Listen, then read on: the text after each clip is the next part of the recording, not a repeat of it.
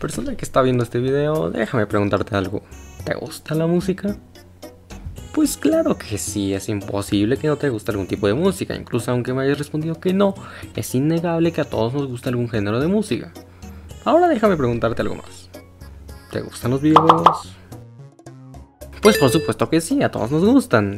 Y si no te gusta, pues bueno, ¿qué estás haciendo aquí? Pues si te gustan ambas cosas, pues también es muy probable que te guste la música que tiene algún videojuego. Y ciertamente puedo decir que yo adoro la música que tienen los videojuegos. Con solo oír un tema se pueden llegar a recordar muchas cosas del videojuego, entornos, momentos, personajes.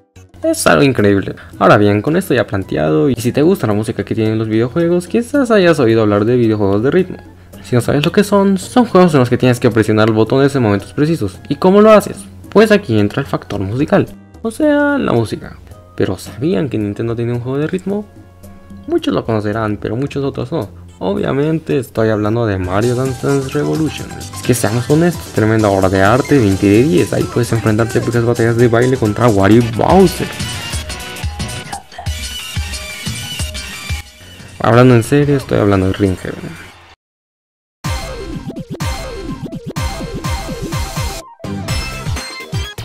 Pero ¿por qué haré un video enterito únicamente hablando de esta franquicia? Pues para hacerles conocer esta franquicia y por qué es tan increíble. Sin más que decir, podemos empezar.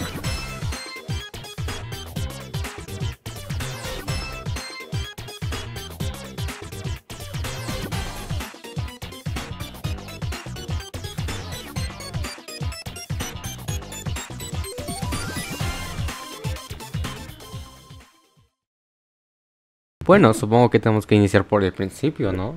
El primer juego de la franquicia titulado Ring Tengoku, traducido como Ring Heaven, salió el 3 de agosto de 2006. Sí, 2006. Mismo año que los fans de Sonic queremos olvidar, pero lamentablemente no podemos. Volviendo al punto, este juego fue desarrollado por JP Room Recordings y Nintendo Software Planning and Development, abreviado como SPD. En este equipo se encontraban Nintendo RID 1 y RID 2, nombre que seguramente les resultará familiar, ya que este equipo estuvo encargado de juegos como Mario Wario Land, WarioWare, Tetris, Doctor Mario, Kid Icarus, Metroid, entre otros. Como podemos ver, este equipo de desarrollo tuvo un gran historial. Este juego fue dirigido por Hazuyoshi Osawa, que también se encargó de su diseño junto a Yoshio Sakamoto y el músico, vocalista, compositor japonés Sunku que fue el que tuvo originalmente la idea y que se encargó de la composición musical junto a Masai Miyone. Una cosa que hay que mencionar antes de hablar del juego es que este salió exclusivamente en Japón y hasta la fecha no ha sido localizado oficialmente en Occidente, por lo que unos fans hicieron una traducción que no está nada mal.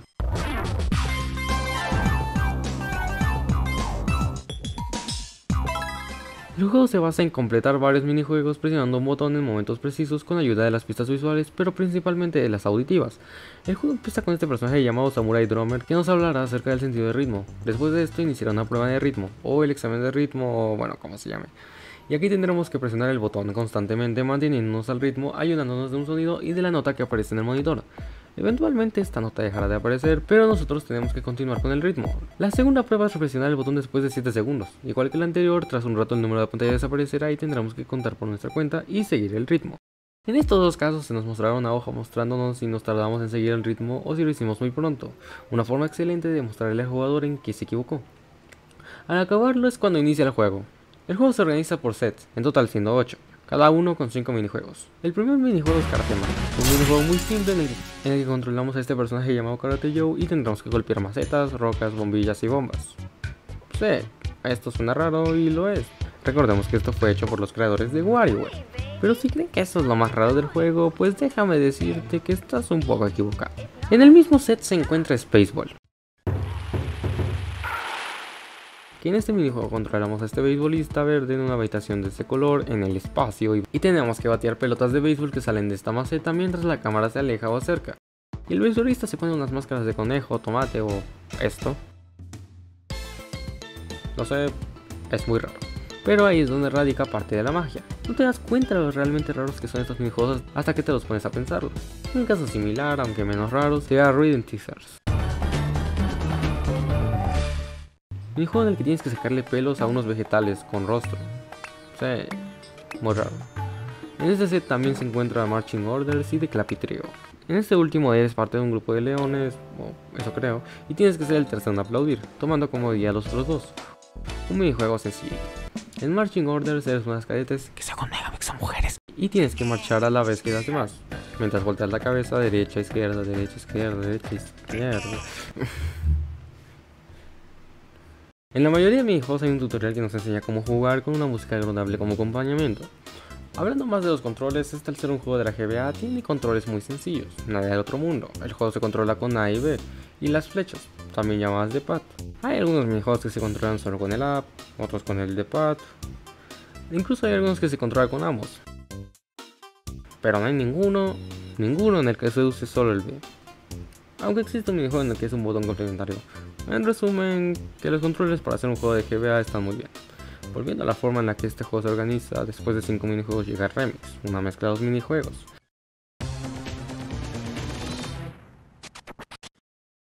El primer remix está bien, es muy largo y algo troll, pero para ser el primero no está tan mal. Luego de eso está el segundo set, donde las cosas empiezan a complicarse.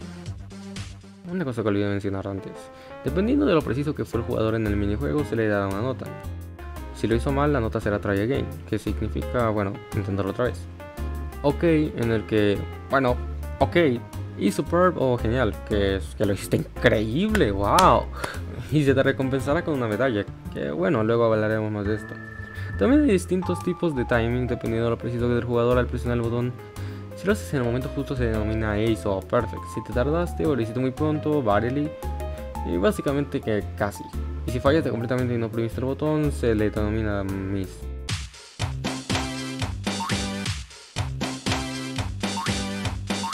Siguiendo con los sets, el segundo está bien, tiene buenos minijuegos, aunque se nota el aumento de dificultad. El set 3 está decente, aunque personalmente el remix no me gustó mucho. El set 4 está bastante bien, pero siendo honesto tiene un minijuego que no me gustó mucho. Quiz. Este consta en repetir un patrón, pero la cosa es que no tiene música.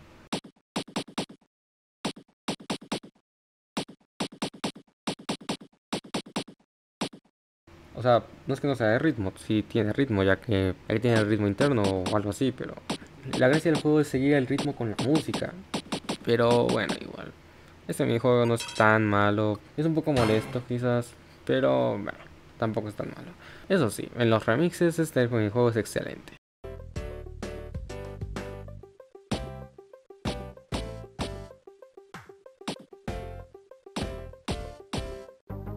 El set 5 es un buen set, pero sus remixes de los más difíciles que hay, especialmente las partes de Tap Trial, pero bueno, eso no tiene nada de malo.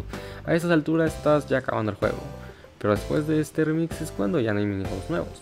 Pero el juego aún no acaba. A partir de aquí empiezan las secuelas de los minijuegos, secuelas que tienen la misma jugabilidad que sus minijuegos originales, pero son mucho más difíciles, alterando patrones, velocidad, etc. La primera secuela es de Snappy Trio, que es una versión modificada de Declappy Trio. Luego está Bond Dance, una versión más difícil de Bonodori, Cosmic Dance, secuela de Space Dance pero Swing, y es una secuela bastante agradable. Rap Woman, que es Rapman pero más rápido, y Turbo Trata y algunas de las secuelas más difíciles no solo del juego, sino de la franquicia entera. Tras perder la sanidad mental con esta secuela, se desbloqueará el Remix 6.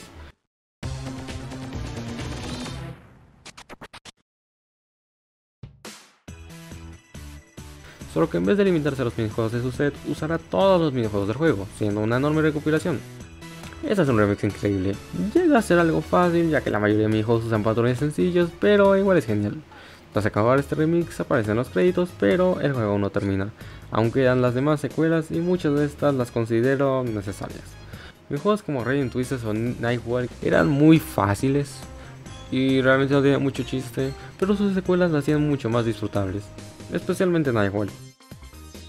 Después de pasar 5 minijuegos está el set 7 que me parece genial, es una muy buena idea ya que es un remix de remixes, excepción del 3 y 5 por tener música cantada y skins supongo. El set 8 es difícil, menos Sneak Spirit 2, que aunque es un minijuego que personalmente me gusta, como último minijuego es decepcionante. El Remix 8 es el último remix de juego, y es uno bastante más tranquilo y alegre, es divertido, y me gusta que se usen principalmente minijuegos del set 1.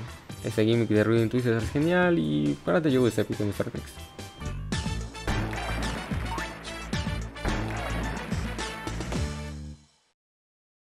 Tras completar este remix se desbloqueará el Concert Hunt, un modo en el que tendremos que tocar la batería en un concierto y cómo sabríamos tocar la batería.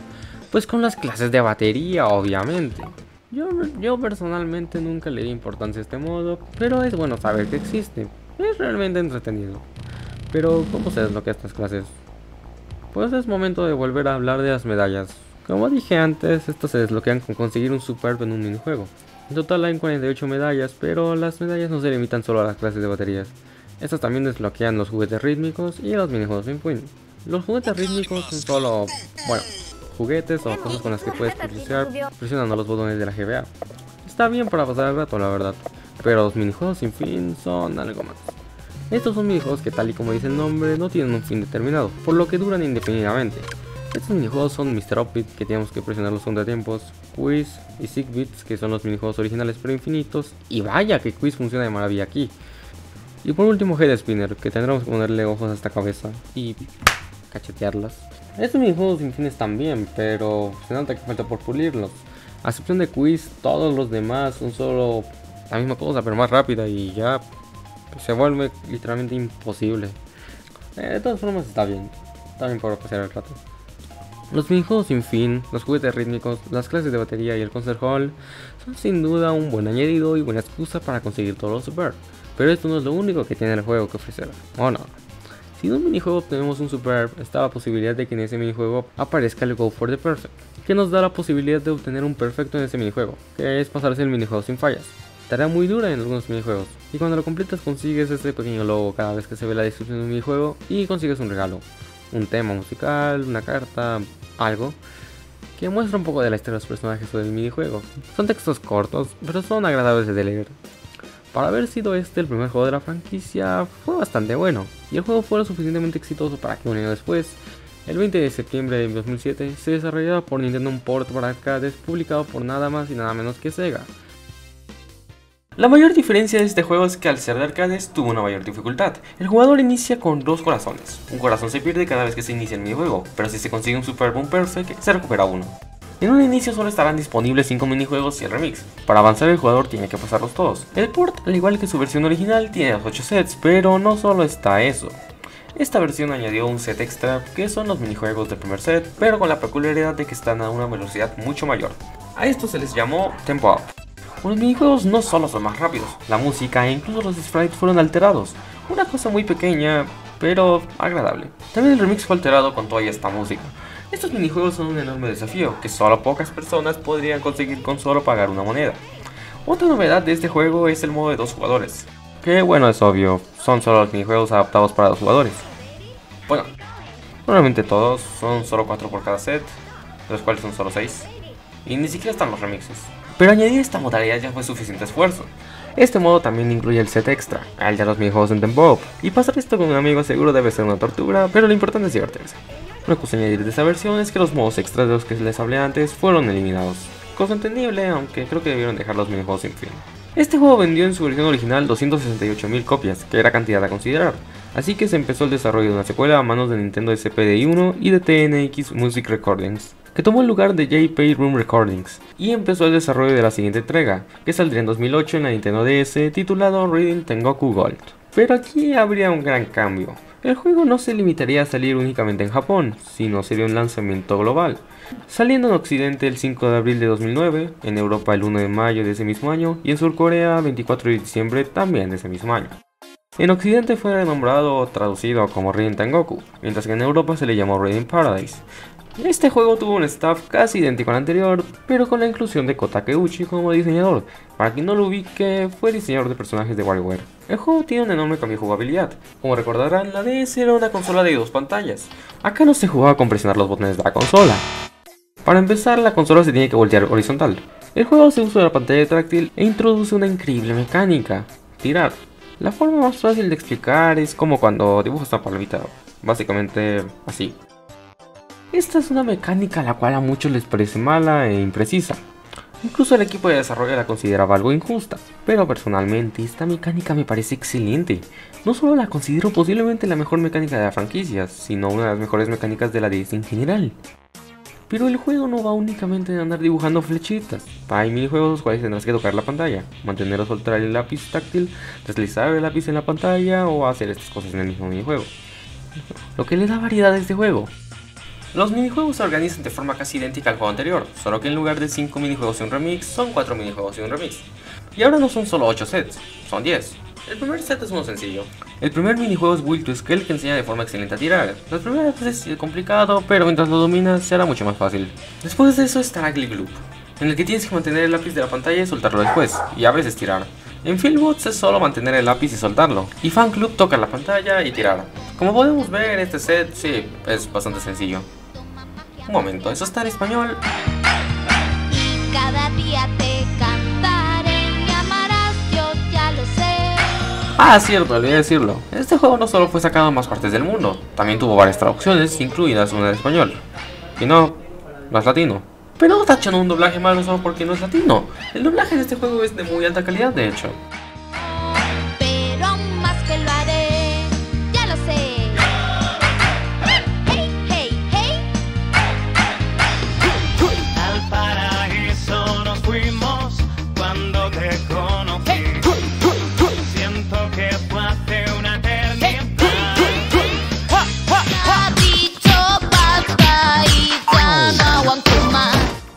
Los traductores de este juego fueron Alexander Valero Fernández y Amparo Almodóvar Prieto. El primero fue traductor de juegos como Layton, Inazuma Eleven Go, Luz y Sombra, Smash 4, Far Cry New Dawn, entre otros. Mientras que Amparo no se le conoce a otro trabajo. Mientras que las voces al español fueron interpretadas por Iker Álvarez, que no, no es futurista, no se confundan, y Vanessa Cebrián. Ninguno de los dos parece haber participado en algún otro doblaje. Una pena ya que yo creo que lo hicieron bastante bien. Este conserva lo peculiar de sus minijuegos. Recordemos que esos fueron los mismos que hicieron WarioWare. En este son fantasmas rockeros. Acá son dos DJs de colores. Acá son hombres dominó haciendo la figura de Sebastian Bach. Bueno, creo que aquí sí se pasaron un poco. Por cierto, este es de los minijuegos más difíciles. Se llama Lockstep y el minijuego se basa en tocar la pantalla al ritmo del tema, pero también tienes que cambiar a los contratiempos. Lo que lo hace especialmente difícil es su falta de vistas visuales. No hay, literalmente no hay. Y de que es muy fácil sacar un OK en vez de un Superb. En fin, es un minijuego complicado, pero cuando lo dominas se hace fácil y hasta llega a ser disfrutable. Este minijuego, por cierto, se encuentra en el set 6, que al igual que Tengoku, al completarlo salen los créditos. Solo que en este caso el remix es como los anteriores, solo usa minijuegos de su set y ya. Este remix, de hecho, pues complicado. Las transiciones son ingeniosas, sí, pero no te avisan antes y puedes fallarla muy fácilmente. Una cosa que vale la pena mencionar es que cada remix tiene una temática y está bien acompañada con nuevos sprites, lo que hace que se sientan más únicos. Esto pasaba en Tengoku, pero solo eran los remixes 5 y 3. Aquí casi todos tienen nuevos sprites que representan su temática a la maravilla. Por ejemplo, el remix 1 es algo como una fiesta, el 2 es tropical, el 3 es un remix más japonés, el 4 es del amor y así con cada uno. Tras acabar el sexto remix salen los créditos, solo que aquí son presentados en un minijuego llamado Aerosurf. Pero después de eso el juego aún no acaba siguen las secuelas, que al igual que el juego anterior, son los minijuegos anteriores con una mayor dificultad. La primera secuela es Will to Scale 2. Electric Boogaloo. Bueno, todo tranquilo hasta que... Después está Dead Cells 2, una secuela tan innecesaria y difícil que no la odio en serio. El siguiente es Jumping Jazz o Frog Hope 2, como le dicen algunas personas. Esta es una secuela muy difícil, pero no es mala. Aunque sacaron genial, es un desafío en el que pocos están capacitados para hacerlo. Sigue Fan Club 2, una secuela que está bien, aunque es más difícil de lo que parece, pero está bien. Y por fin, el remix, que similar a Tengoku no se limita a usar minijuegos de su set, usando DJ School y Big Rock Finish. Un remix algo lento y repetitivo, pero genial. Luego está el set 8 que inicia con Reading Rally 2 y bueno, a ver. Reading Rally es un minijuego que si bien puede ser algo complicado al inicio, con el tiempo se vuelve algo fácil, ya que el minijuego no es tan largo. Red Rally 2 es un sufrimiento que se siente eterno. El minijuego es literalmente el minijuego más rápido que toda la franquicia, sin contar minijuegos con ritmo variable o remixes. Sí, es más rápido que los Tempo Up de Tengoku Arcade. No solo su velocidad lo hace infernal, el juego dura el doble que el minijuego original y a eso súmale que la jugabilidad es de tirar, lo que como ya dije es fácil, pero hacerlo a esa velocidad y por tanto tiempo lo vuelve muy cansador. Ya les conté que también cambia los ángulos de cámara y que incluye una nueva mecánica, ¿no? Pues eso. Luego está Fieldbot 2, donde su sistema de puntuación es un desastre y dura más que el remix final. Bluebirds 2, que bueno, está bien. Y Lockstep 2, que lo hicieron extrañamente más fácil. O sea, no me quejo. Y justo después el remix, que aunque solo un minijuego cambia los gráficos, es personalmente de los mejores remixes de la franquicia.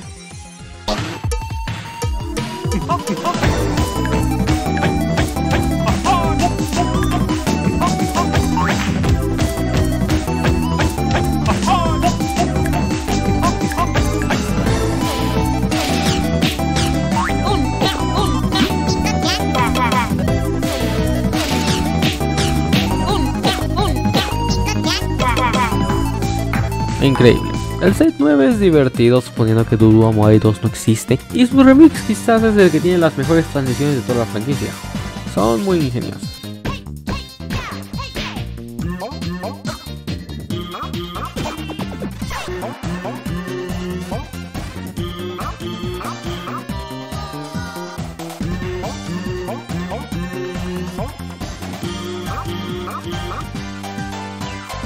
El último set es el décimo, con la secuela más rompepantallas después de Reading Rally, la secuela más olvidable, la más necesaria, la mejor, al menos para mí, y el Remix 10.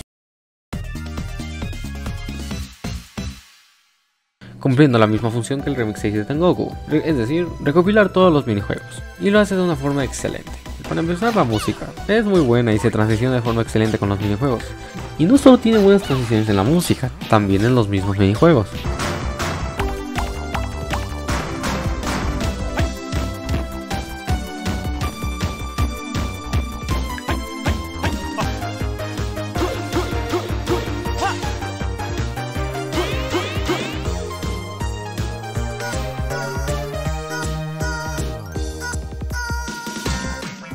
Es un muy buen remix y de mis remixes finales favoritos. Ahora bien, si conseguiste un genial en los minijuegos aparte de ganar una medalla, está la posibilidad de sacar un perfect en ese minijuego. Un gran desafío, menos en Lockstep, donde es directamente un chiste. Pero bueno, el juego aún tiene sus extras que se siguen desbloqueando con medallas. Los juguetes rítmicos volvieron y mejor que nunca. Esto gracias a la pantalla táctil que los hace muy entretenidos.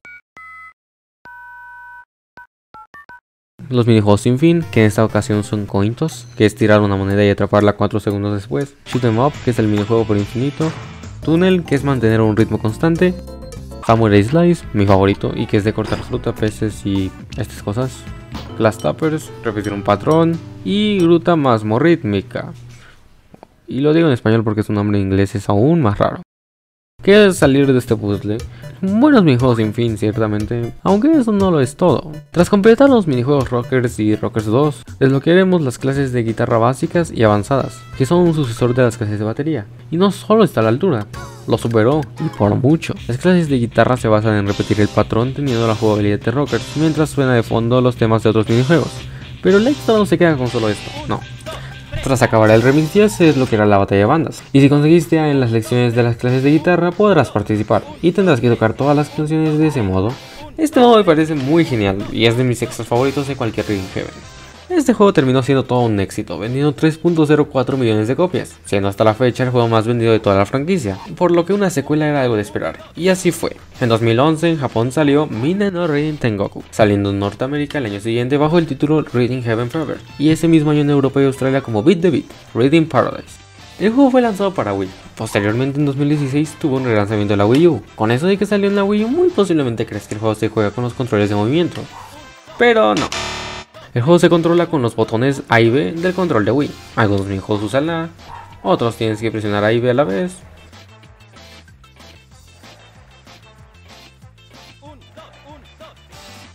Y sí, al tener menos botones puede parecer más repetitivo que en comparación a Tengoku, pero realmente uno no se da cuenta de eso, o al menos en mi caso nunca lo sentí repetitivo. Fuera de los controles, el juego mantiene varias cosas de su antecesor, es decir, ritmo por sobre visuales, 4 minijuegos en remix y lo peculiar de sus minijuegos. Pero vaya, aquí se aumentó mucho su peculiaridad. Por ejemplo, en este minijuego eres un macaco que está en un reloj y tienes que chocar los 5 con otros macacos. ¿Creen que eso es lo más extraño? Pues explíquenme qué se supone que está pasando aquí. Pero bueno, en resumen, sí, es muy raro. Supongo que ahora el fever de su nombre tiene más sentido. Como dije, este juego mantiene que el ritmo es más importante que los visuales.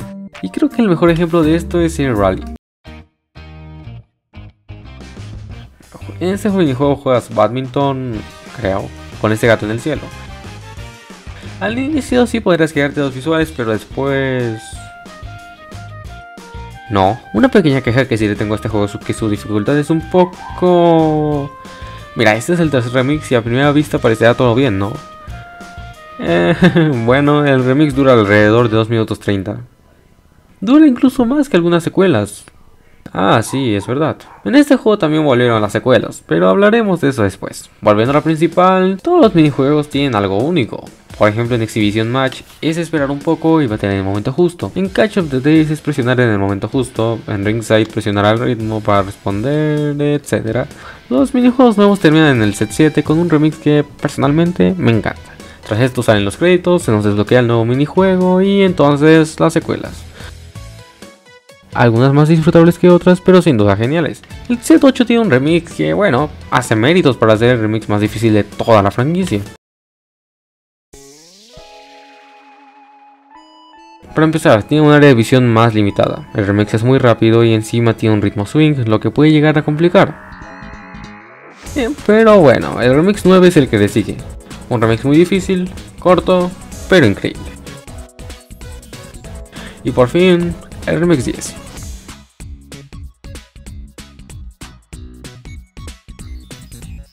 Pero antes quiero hablarles de mi secuela favorita de este juego, Karate Man Combos 2. Esta secuela es más lenta que la primera versión, pero en compensación presenta nuevos patrones, mucho más complicados que la hacen mucho más disfrutable. Ahora sí, el remix 10. Este remix solo lo puedo definir de una forma, icónico. Este es un remix muy conocido, especialmente por las parodias que se le han hecho. No estoy seguro de exactamente cuántos hay, pero conté más o menos 30 parodias a este remix. Parodias como la de Smash, Pokémon, ese Attorney o la parodia... oh, Espera, ah bueno, hablemos de este remix. Al igual que el remix 10 incluye todos los minijuegos y a su vez ese es el último minijuego de la entrega. Aunque bueno, también incluye el tutorial y el de los créditos. Este remix es muy bueno. Feber tiene algunos de mis minijuegos favoritos de toda la franquicia y en este remix los mezcla todos, siendo algo muy disfrutable. La música sigue siendo genial y bueno, y bueno, en general es muy disfrutable, aunque más difícil que las entregas anteriores, eso sí. Tras completarlo, a diferencia de entregas anteriores, no pasa nada, o eso creo, un poquito decepcionante. Pero ya que, ese es el contenido principal del juego. Bueno, no todo, pero de eso hablaremos en un rato. Los juegos rítmicos volvieron y están bien, son viejos simples, entretenidos, pero ya. Y luego están los viejos sin fin, y vaya, son geniales. Como por ejemplo Beers, que tienes que presionar A dos veces y cuando el otro pájaro dice Boeing, presionas A y B a la vez. Este minijuego es tan increíble que solo se quedó en las versiones japonesas del juego y el resto del mundo lo cambiaron por Mr. Offbeat de la GBA. Y, o sea, Mr. Offbeat no es un mal minijuego, sin fin, es muy genial y aquí lo mejoraron bastante. Pero no es Fancy Birds. Pero bueno, eso no quita que los minijuegos sin fin son increíbles. Este juego, a diferencia de los anteriores, no trajo ni la batalla de bandas o el Concert Hold o algún derivado, pero para compensarlo, el juego introdujo los juegos extra, que no son más que remasters de varios minijuegos de Tengoku, que bueno, a primera vista suena algo flojo porque no son minijuegos originales o nuevos, pero no es tanto así. Recordemos que Tengoku nunca salió de Japón, por lo que significa que para Occidente estos sean todos minijuegos nuevos y fueron un buen añadido, aunque desbloquearlos requiere muchas medallas. Y estos son todos los añadidos del juego. Como podemos ver son increíbles y muy disfrutables. Bueno, miento, estos no son todos. Este fue el primer juego de la franquicia en haber aparecido en una consola de sobremesa, y hasta la fecha el único, contrario a sus predecesores que salieron en portátiles. Eso no parecerá nada relevante, pero es más importante de lo que parece, ya que el juego salió en la Wii. Cuyo enfoque principal no era siempre jugar de una sola persona, sino con más de una, y esto fue algo que el juego tomó en cuenta, añadiendo el modo multijugador. Estos son los minijuegos del juego principal adaptados para jugarse de dos personas. ¿Les suena esto de algo? Pues sí, este modo es una clara referencia al multiplayer de Resident Goku Arcade. Pero bueno, hablaremos más de este modo. Como he dicho, son varios minijuegos del juego principal pero adaptados para que dos personas los jueguen. Los minijuegos de este modo son Forklifter, Tambourine, Ringside, Micro Row, Flipper Flop, Launch Party, Top Throw y Karate Man. Aquí no aparece ninguna secuela y ni siquiera un remix, pero como un modo extra no lo veo nada mal. Si se consigue un genial en estos minijuegos, se obtendrá una medalla doble con la que se desbloquearán dos minijuegos sin fin de dos jugadores. Y bueno, estos minijuegos sin fin son increíbles. Sí, incluso Crap Trap. Esto es un gran añadido que alarga aún más la vida del juego. Como último apartado me gustaría hablarles de nuevo del desafío de Perfect que ha vuelto y mejor que nunca. Al igual que en entregas anteriores, si en un minijuego obtienes un genial, está la posibilidad de obtener un Perfect. Y si lo logras obtener de alguna forma, conseguirás algo, el tema del videojuego, una carta o algo. Tras acabar el remix 10 en Perfect recibirás una nota, agradeciéndote de haber jugado el juego. Una linda recompensa. Aunque claro, eso no es todo. Si consigues todos los perfects del juego desbloquearás el remix sin fin. Un remix de los minijuegos infinitos de un jugador y sí, adivinaste, es infinito. Hasta que falles, claro. Siendo esta, por cierto, la, la primera y quizás única recompensa al acabar completamente un Ring Heaven. Y es algo muy disfrutable. Algo interesante aquí es que los desarrolladores se les ocurrió la idea de poner tres minijuegos nuevos que puedes practicar antes del remix y que ni siquiera tienen algún nombre, solo los que están en los archivos del juego. Algo raro, pero igual no importa. Fever vendió bastante bien, con más de 800.000 copias. Y en 2015, en Japón, 2016 para el resto del mundo, salió Reading Tengoku de Best Plus. Reading Heaven Megamix en América y Reading Paradise Megamix en Europa y Australia. Bueno, no sé por dónde empezar con esto.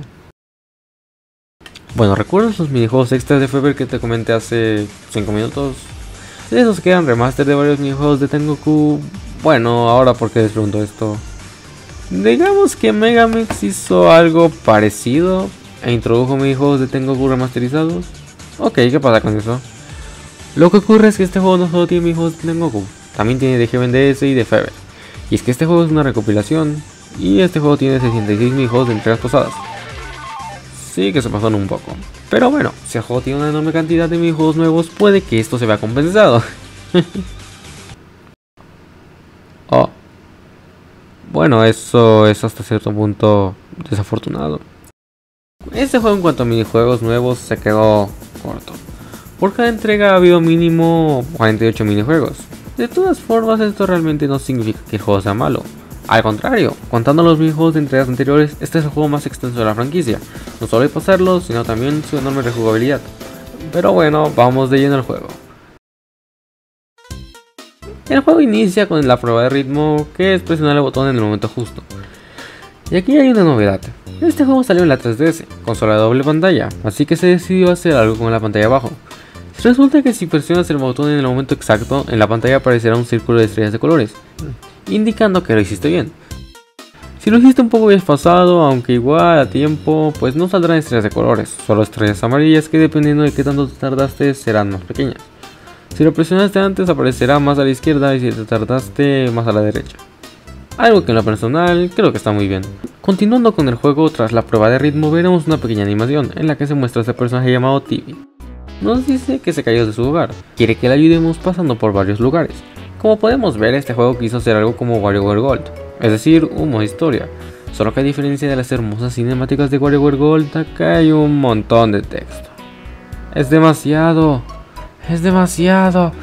De todas formas, continuemos. El primer mundo es Abejalandia o algo así, en el que tenemos que ayudar a este güey a recuperar su sentido del ritmo. O algo así decía.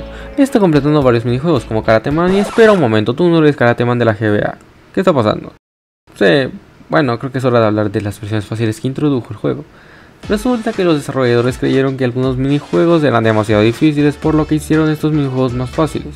Sí, yo tampoco entiendo del todo esto porque, o sea, entiendo algunos minijuegos, especialmente de Fever, que sí eran complicados.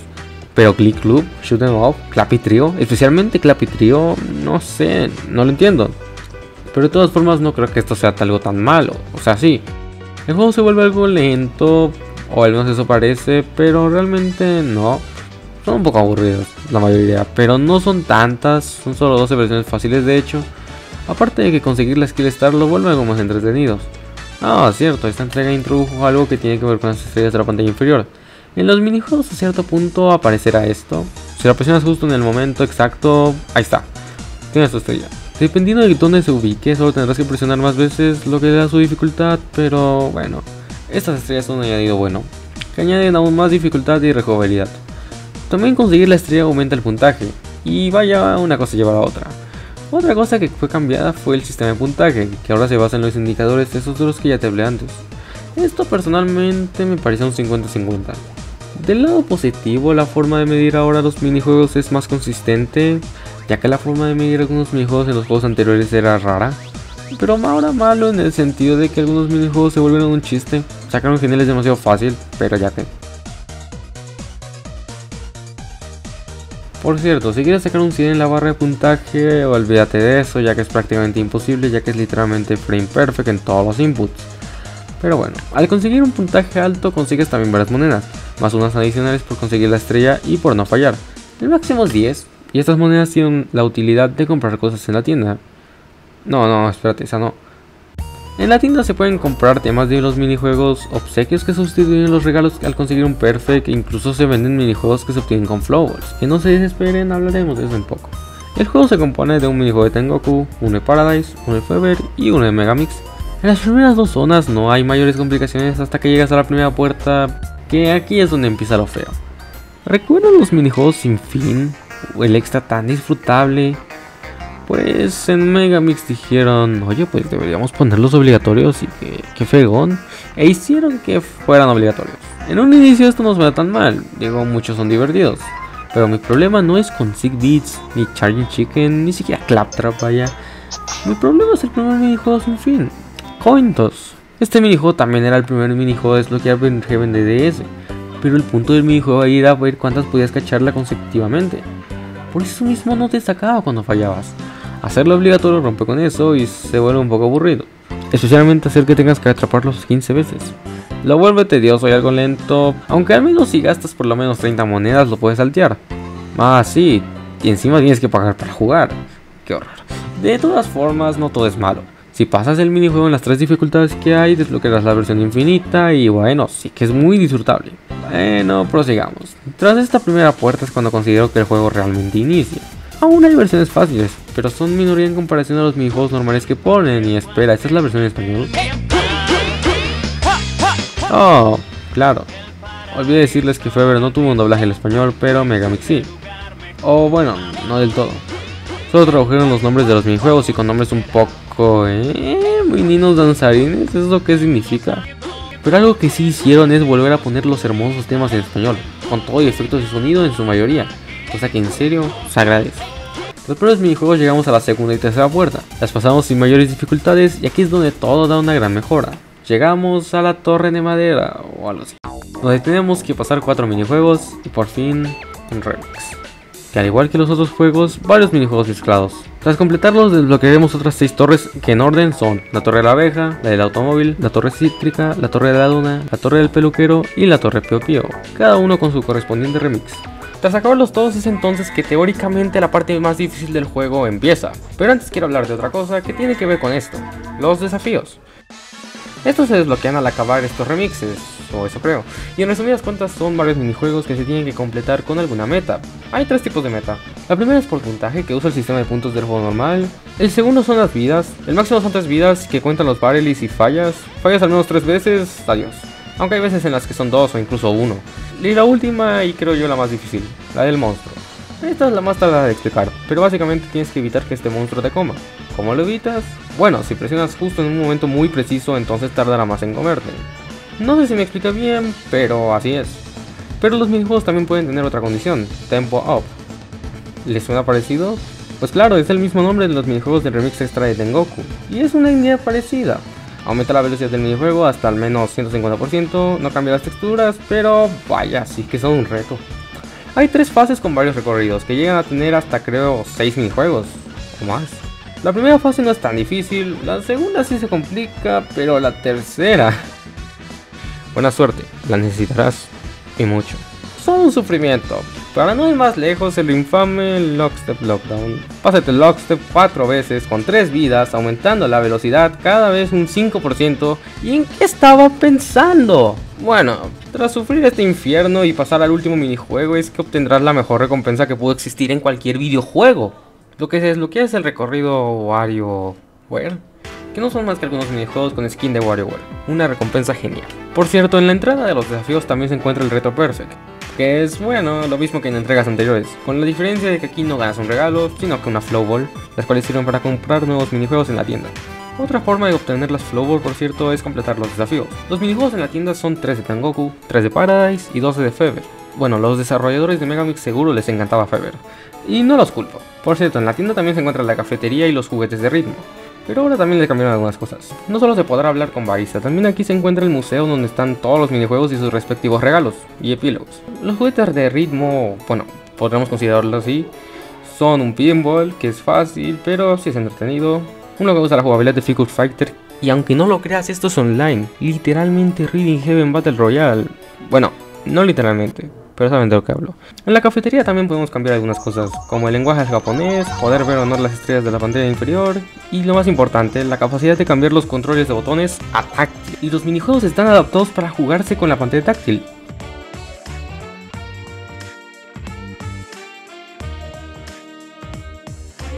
Pero a diferencia de DS, aquí quitaron la capacidad de tirar. Una pena, aunque bueno, es entendible.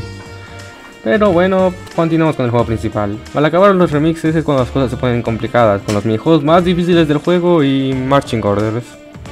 ¿Por qué sale tan tarde? Tras completar la cuarta puerta es cuando nos acercamos a la parte más difícil del juego, donde tenemos que completar la torre izquierda, derecha y el último desafío de este juego, donde se encuentran las secuelas de juegos anteriores. Y es un enorme reto. Y sí, las dos torres tienen cada una un remix, así como el último set. La torre izquierda es la que para mí tiene la mejor selección de minijuegos. Frame, Second Contact, Spaceball, Ringside. ¿A quién no le gusta Ringside? Una música increíble y una estrella difícil pero bien puesta. El remix es algo lento y puede resultar tedioso, pero no sé, no me gusta. El siguiente remix es el remix derecho, su selección de minijuegos no me apasiona, pero está bien, aunque musicalmente sus transiciones son geniales. Solo escuchen.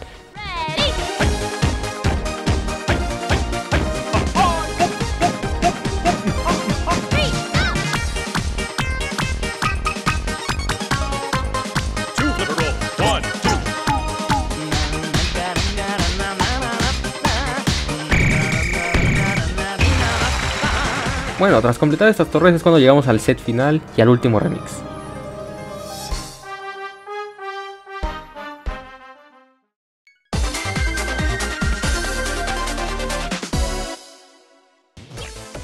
Es uno bastante frenético y inicia bastante bien, pero hay algo que hace este remix tan increíble. Y es que decidieron hacer una celebración a toda la franquicia.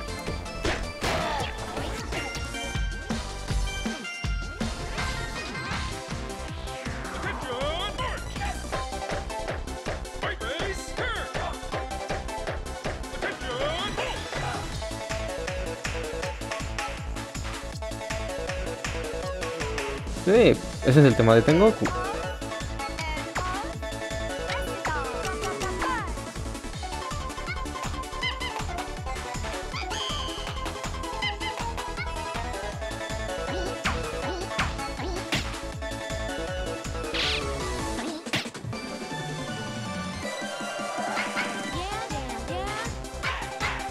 Sí, ese es el tema de Paradise.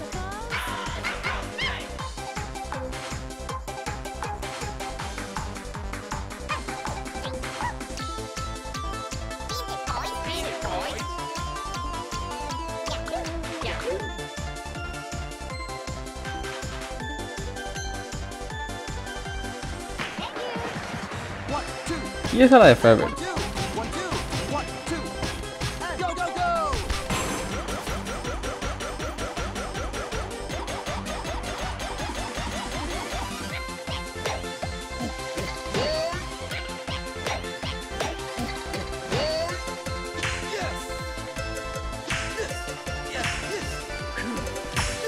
Y por último, Mega.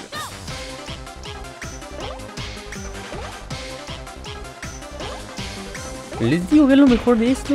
Estas partes usan minijuegos de sus respectivos juegos. Algo increíble.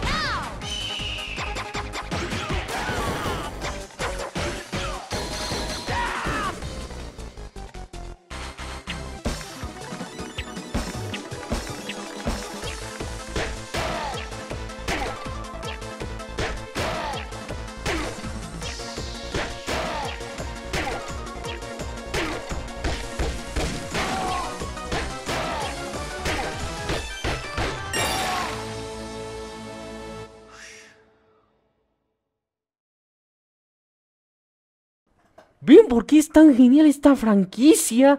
Siempre daba más importancia a la música que a lo que ves. Siempre es una experiencia disfrutable. Incluso solo jugar por unos 10 minutos es divertido. Honestamente espero que esta franquicia vuelva algún día, y eso no es algo imposible. Sunko ha dicho que más de una ocasión que le gustaría hacer un Reading Heaven en Switch. Incluso en WarioWare Get Together hay referencias a esta franquicia, como la introducción. Los que aparecen ahí son los del minijuego First Contact. Yo tengo la esperanza de que esta franquicia vuelva algún día y brille como se lo merece. Muchas gracias por haber visto este video hasta el final Y antes de que acabe quiero decir que la mayoría de clips usados no son míos, son de otros usuarios que grabaron estos videos. Todos los créditos en la descripción. Si quieren apoyarme de alguna forma, bueno, tengo Twitter donde digo lo primero que se me venga a la mente. Tengo un Twitch que agradecería bastante un follow. Allá hago directos cada vez que tengo un día libre o algo. Y donde podemos interactuar más. Bueno, nos vemos hasta otra. Chao.